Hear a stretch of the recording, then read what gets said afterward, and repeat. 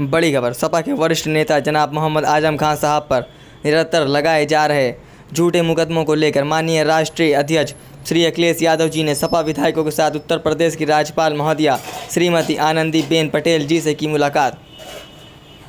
आज़म साहब पर हो रहे उत्पीड़न को रोकने की रखी मांग।